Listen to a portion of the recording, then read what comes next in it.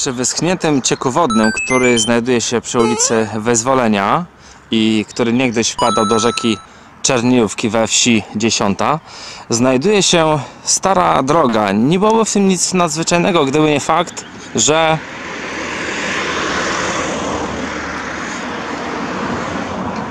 że ta droga została, można powiedzieć, odkryta na nowo podczas y, ostatniej transmisji, na której prezentowałem Wam dawne plany Lublina. O co chodzi z tą drogą? Dlaczego jest ona ciekawa? Y, No, obejrzę razem z Wami, będę to y, oglądał, tą, tą, tą drogę pierwszy raz, dlatego że nigdy tutaj nie byłem. No i tutaj właśnie ten ciek suchy, już wysuszony. Co ciekawego jest w tej drodze, dlaczego ona zwróciła moją uwagę o tym filmie, także zapraszam do oglądania. Na y, ostatniej transmisji, jak wspomniałem, pokazywałem stare y, mapy Lublina, mapy, których nigdy nie widzieliście. To przy okazji, żebyście wiedzieli, gdzie jesteśmy, gdzie ta droga jest. Prezentowałem różne mapy i na jednej z map, y, właściwie na dwóch mapach, jednej y, Jana Nepomucena Łęckiego z 1783 roku oraz mapy y, około z lat 20. mniej więcej z XIX wieku rzuciła mi się w oczy droga, która prowadziła e, z, ze wsi, właściwie która biegła po granicy wsi Dziesiąta i po granicy gruntów dworskich, które były po e, mojej lewej stronie, czyli od strony miasta. Czyli przy ulicy Stefana Roweckiego zaczyna się ten właściwy odcinek. I tu właśnie wzdłuż tej drogi widzicie, pięknie widać, no oprócz tego fotela, który tam leżał, wyschnięty ciek wodny, który biegł mniej więcej ze wsi Kalinówka. I w tym momencie już y, jedziemy drogą, która już jest widoczna na planie Lublina z 1783 roku, na jednym z najstarszych planów miasta. Oczywiście najstarszy to jest plan Bekiewicza 1649, ale on nie pokazuje całego miasta, tylko przed bramie bramy krakowskiej. Co jest wyjątkowego w tej drodze, oprócz tego, że jest e, nierówna i wyboista? Otóż to, że możemy zobaczyć, jak wyglądały drogi w dawnych e, czasach, jeszcze powiedzmy te 150-200 lat temu w Lublinie. Niestety lub stety nie da się tą drogą jechać rowerem. Ja w tym momencie już idę pieszo, ale to jest o tyle ważne, żebyście sobie zobaczyli właśnie jak wyglądały stare trakty w czasach yy, Polski. No, nazwijmy to jeszcze te, te no 100-200 lat temu. No generalnie skupię się na tej konkretnej drodze, bo ta droga, tak jak wspomniałem, oddzielała grunta wsi Dziesiąta, y, czyli po lewej stronie, y, po prawej stronie tereny i tereny dworskie, cokolwiek to znaczy. Żeby potwierdzić, że jestem w Lublinie, w granicach administracyjnych miasta, tam w oddali macie jakąś budowę na Felinie, e, Żurawie, czyli jest to jak najbardziej Lublin, ale droga naprawdę biegnie przez taki urokliwy zakątek e, lesowy.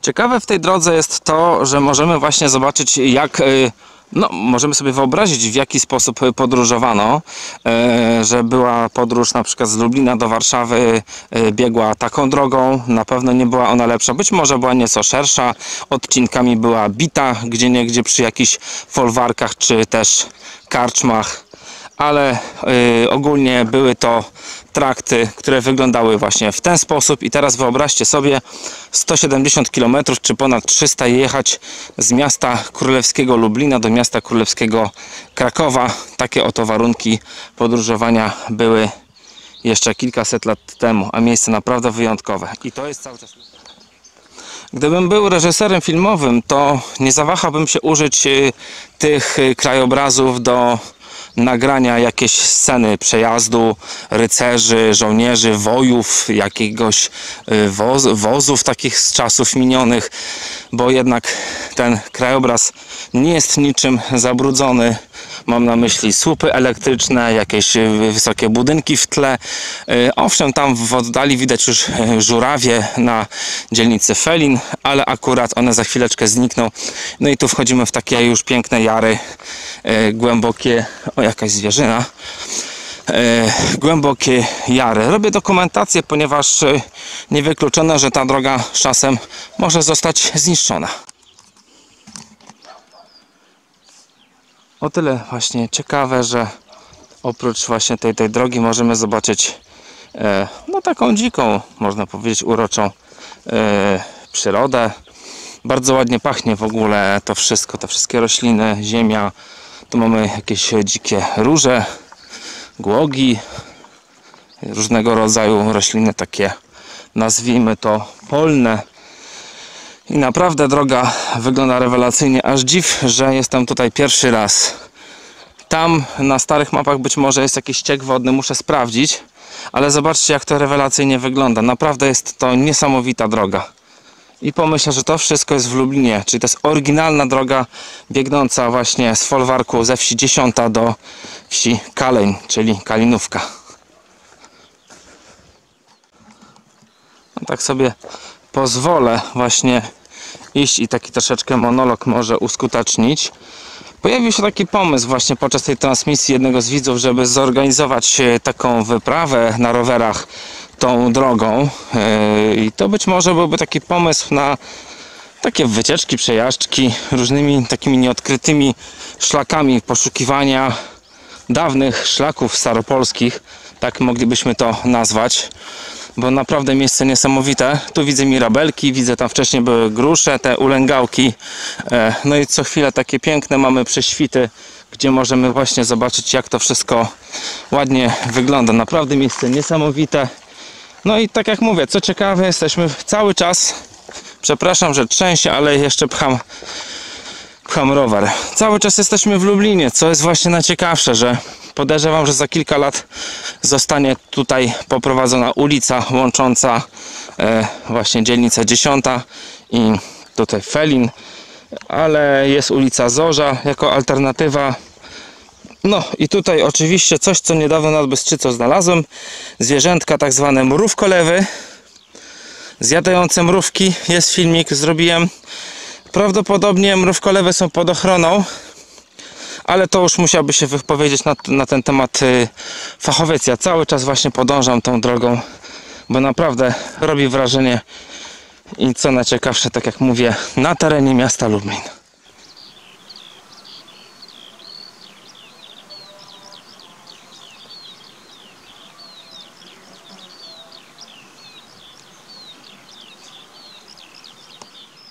Spacerując tą y, drogą w kierunku wsi Kalinówka. Patrząc na te tereny e, z lewej, z prawej, właściwie bardziej tutaj od strony miasta, czyli na południe, tak się zastanawiam, że można śmiało powiedzieć, że idę drogą przez obecne dzielnice LSM-y. Tak mogły wyglądać 200 lat temu. Tak mogła wyglądać ulica Zana czy Aleje Kraśnickie 200 lat temu. E, naprawdę tutaj, jeżeli chcemy sobie wyobrazić, jak wyglądały te dzielnice, e, te wielkie sypialnie miejskie, w których teraz e, żyjemy, to myślę, że tak mniej więcej mogły te tereny wyglądać jako właśnie takie wielkie, lekko pofalowane wysoczyzny lesowe porośnięte, e, te, te, te drogi porośnięte jakąś tam właśnie roślinnością, tak jak tutaj mamy jakiś chyba orzech włoski, taką roślinnością pionierską. Ciekawe właśnie jak ta droga wygląda e, dalej, ale naprawdę bardzo fajne, ciekawe miejsce. Tu gdzie niegdzie mamy maki, jakieś tam różne inne rośliny. Nie znam się akurat tak bardzo, ale naprawdę miejsce jest bardzo ciekawe. No i zobaczcie, że no praktycznie nie ma nic po horyzont, bo akurat tam jest już ta, to wzniesienie bardzo wysokie. Śmiem twierdzić, że po mojej lewej stronie e, w tym zagłębieniu, które jest zniwelowane przez orkę, przez rolni, rolnictwo, e, biegu płynął ciek okresowy. Właściwie może nie tyle co okresowy, tylko po prostu ciek wodny. O, potwierdzenie, że jestem w Lublinie, pokażę Wam tam w oddali widoczny jest e, mauzoleum e, na, na Majdanku. Proszę bardzo. Jestem w Lublinie. To jest krematorium i mauzoleum, także nie jest to ściema, że jestem na terenie miasta. Wykonałem kilka zdjęć takich pamiątkowych, tak to nazwijmy, dlatego że to miejsce ono ono się na pewno zmieni. To jest kwestia czasu, kwestia pieniędzy, kwestia decyzji. Dlatego warto zachować chociażby na fotografiach e, takie oto miejsca urokliwe. No uważam, że jest to jak najbardziej urokliwa droga. Oczywiście niemożliwe jest zachowanie tego oto krajobrazu, który Wam pokazuję. E, To przy okazji tam jest poligon wojskowy, tam już widać dzielnicę Felin, widać komin na Tatarach. Nie jest możliwe zachować tego miejsca w takim, nazwijmy to dziewiczym charakterze, dlatego że miasto się rozbudowuje, nowe tereny rolnicze są zmieniane w tereny y, budowlane, działki mieszkaniowe i tak więc jest to proces, y, od którego się nie ucieknie. Tam jeszcze raz pokażę właśnie mauzoleum na Majdanku, na niemieckim obozie koncentracyjnym i widać już pomału wychodzące na horyzoncie mury e, mur cmentarza właśnie na Majdanku, więc tutaj już widzicie, że ten cmentarz on naprawdę już wkracza w te, w te tereny dawne. Czyli tak też mógł wyglądać właśnie teren ob niemieckiego obozu e, śmierci e, przed w ogóle wkroczeniem e, nieproszonych gości z zachodu. Idąc dalej, tak sobie właśnie spaceruję. Różne właśnie takie myśli, typu, że właśnie tak mogło to wyglądać. Jakieś ptaki dzikie, tak mogło to wyglądać te nasze właśnie dzielnice, e, wielkie osiedla mieszkaniowe. Z pewnością tak to wszystko wyglądało, bo wiadomo, że mamy to tereny Wyżyny Lesowej, e, Wyżyny Lubelskiej, tereny, jeżeli chodzi o uprawę e, roślin. Też e, podobne rośliny były w tamtych czasach uprawiane. Przynajmniej tak mi się wydaje. To już fachowcy się bardziej mogą wypowiedzieć. E, Co chwilę tak przerywam, zaglądam w te krzaki, które są po mojej lewej stronie, ponieważ słychać różnego rodzaju ptaki, jakieś bażanty, nie wiem, kuropatwy może nawet. Mm, I akurat to miejsce jest to tyle właśnie ciekawe, że wyraźnie tutaj się da wjechać tylko ciągnikiem. Oj, tu bardzo ładnie widać już teren, teren poligonu na Majdanku, te właśnie wzgórza. Tam mamy właśnie osiedle na Felinie, a tu mamy teren poligonu, które to też być może zmieni się w osiedle. No bo wiadomo, że tereny wojskowe są e, bardzo często zamieniane w osiedla mieszkaniowe, chociażby tereny przy Alei Kraśnickiej, czy nieszczęsne Górki Czechowskie e, są właśnie w ten sposób degradowane. No i tak mniej więcej, żeby też było widać komin na Wrotkowie widoczny i też tutaj się zatrzymam na chwilkę, żeby zrobić e, zdjęcie. Tam na wprost dzielnica 10, dzielnica Abramowice, Dolina Czerniówki i tu wyraźnie właśnie to zagłębienie terenu ono sugeruje, że to był ciek wodny został zniszczony, zniwelowany, czy zniszczony, po prostu wysechł w, czasie zmian klimatu, jak zresztą kilka cieków wodnych w Lublinie wyschło. Chociażby Muchawiec wysechł, więc takich stróg, rzeczek było dosyć sporo w Lublinie. E, No cóż mogę powiedzieć? Przede wszystkim bardzo zachęcam do spacerów w takie nieznane miejsca, bo ja jestem tutaj pierwszy raz, a uważam, że nie najgorzej znam miasto i powiem Wam szczerze, że jestem zachwycony tym miejscem. I obok Górek Czechowskich niewątpliwie będzie to miejsce na mapie u mnie na, na, na, wysokim miejscu, na wysokim miejscu w czołówce, być może nawet, więc y, jest ono o tyle wartościowe, ponieważ mamy tu taki aspekt historyczny i aspekt taki krajoznawczy, bo naprawdę dla kogoś, kto lubi przyrodę, kto lubi takie właśnie nasze regionalne tereny, e, widoki e, różnego rodzaju, to myślę, że będzie zadowolony, dlatego że tutaj jest cisza, jest spokój, słychać szum wiatru, słychać śpiew ptaków, czuć zapach różnych warzyw, różnych e, ziół. I naprawdę jest bardzo urokliwie. Tutaj już widzimy teren właśnie y, poligonu. Ja odejdę troszeczkę dalej. O. Teren poligonu na Majdanku. E, więc y, tam chyba się nie zapuszczę, bo pewnie nie wolno tam wchodzić. Ale miejsce ogólnie bardzo ładne. Ponieważ marzenia nie kosztują i w sumie każdy może marzyć. Jeżeli byłbym osobą decyzyjną, jakimś królem. Nie, po prostu gdybym miał taką e, siłę e, decyzyjności, to myślę, że fajnie byłoby to miejsce zostawić jako taki obszar, mm, e, taki rezerwat krajobrazowy. Zobaczcie, że naprawdę wygląda to rewelacyjnie, bo nie ma tam żadnych słupów energetycznych. No oczywiście już komin, już miasto musi być, ale w formie takiej ścieżki e, krajoznawczej, ścieżki no może nie ścieżki zdrowia, ale takiego terenu. Teren wojskowy bym zostawił jako jakiś taki yy, w formie parku, dlatego że tutaj jest dzielnica Felin, jest obok też Świdnik yy, i mógłby być to taki park pomiędzy tymi dwiema yy, no może nie dzielnicami, tu obrażę Świdniczan, pomiędzy miastem Świdnik a dzielnicą Felin. Fajnie byłoby, żeby e, taki teren powstał. Myślę, że mieszkańcy Felina też woleliby tu teren zielony. Oczywiście zagospodarowany odpowiednio, nie mocno zniszczony, ale taki naturalny, niż jakieś kolejne blokowisko, które tu zapewne, znając e, pewne osoby, powstanie.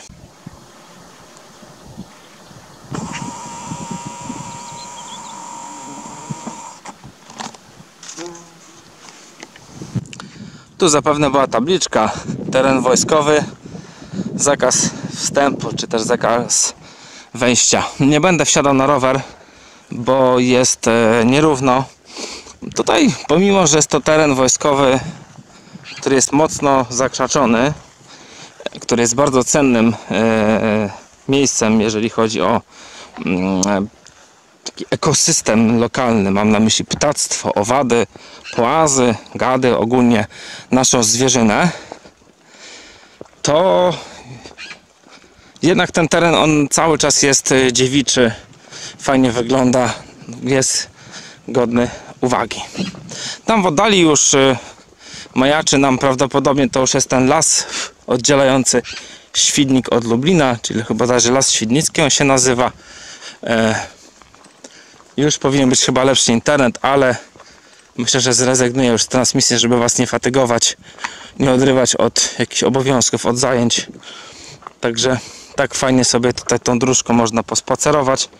Przejść właśnie od dzielnicy 10 starą drogą, staropolską, która też była granicą pomiędzy właśnie tymi gruntami dworskimi, tak na mapie było to pamiętam zaznaczone grunta dworskie i y, wieś dziesiąta. O, to ptaszek nam towarzyszy.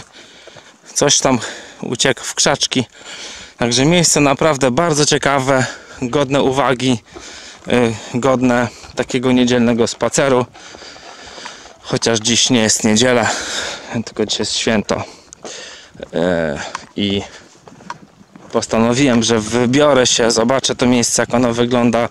Y, jest ono niedostępne mm, w czasach, y, y, jak jest, jak jest mokro, jak jest śnieg.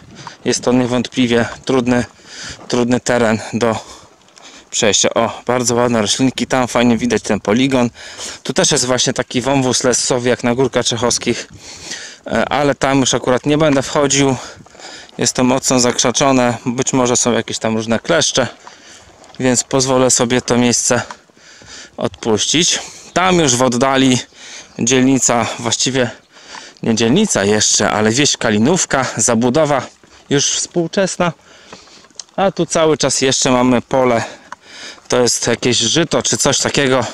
Przyjadę tutaj jeszcze porobić zdjęcia. Jesie, y, w sierpniu, jak będzie to wszystko ładnie już w, y, będzie kwitło, już będzie to do, do zabrania, to, to zboże. No i tam w oddali właśnie widać już żurawie na, na Felinie. Także widzicie jak najbardziej, że cały czas jestem w Lublinie. Droga fajna, ale nie na taki rower, który ma cienkie oponki. Takie jak ja mam, więc bardziej polecałbym taki jakiś górski. Także piszcie w komentarzach, jeżeli chcecie wybrać się na taką przejażdżkę. Może znajdziemy jakąś inną trasę bo takich dróg w Lublinie jest jeszcze kilka, chociażby w dzielnicy Wrodków. Tam w oddali widać już y, Felin. Także można sobie taką dróżkę fajną. Zobaczmy jak to wygląda w kierunku dzielnicy 10.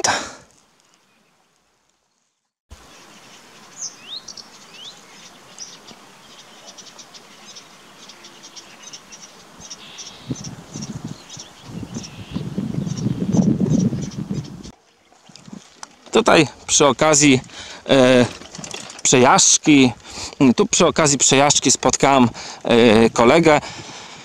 E, on mi powiedział, że ta droga powstała stosunkowo niedawno, że rok temu wojsko robiło jakieś e, prace ziemne, bo dawniej droga biegła za tym nasypem, który jest porośnięty pięknymi, e, pięknymi em, kwiatkami.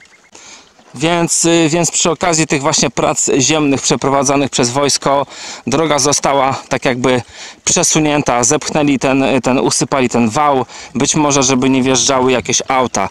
Y, Jest to o tyle ważna informacja, y, no nie tyle dla samego faktu, że to zostało zrobione, tylko y, żeby uważać na interpretację y, rzeźby terenu. E, Pamiętajmy, że żyjemy w czasach, w których e, jest ciężki sprzęt, są maszyny, są koparki, one są w stanie bardzo szybko wykonać ogrom pracy, e, który wydaje się wymagałby wielu lat.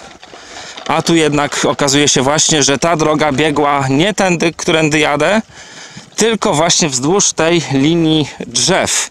Dlatego też osoby, które chciałyby na przykład szukać e, jakichś tam różności, no to powinny jednak iść bardziej bliżej tych y, drzew, natomiast ja sobie tutaj jadę pewnie trzęsie bardzo, za co przepraszam, ale nie mam gimbala dzisiaj, także tak to mniej więcej wygląda, bardzo ładne miejsce.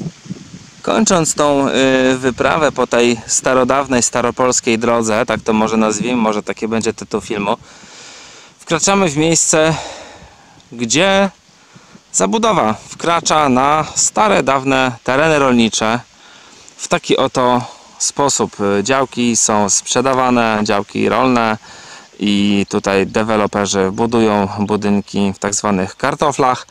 E, tak to mniej więcej wygląda. Już ta droga nie jest tak urokliwa ze względu właśnie na tą e, zabudowę, która tutaj już zaczyna wchodzić. Dlatego spieszcie się tak naprawdę szybko zwiedzać takie miejsca, takie dróżki, ponieważ one szybko odchodzą. Zapewne niedługo to się pojawi ulica. Zwróćcie uwagę, że już są studzienki kanalizacyjne, jest ich dosyć dużo, już jest burzówka, czyli idzie w tamtym kierunku zabudowa, także pewnie za jakiś czas y, w tym miejscu będzie asfalt, a zamiast tego pola będzie stało osiedle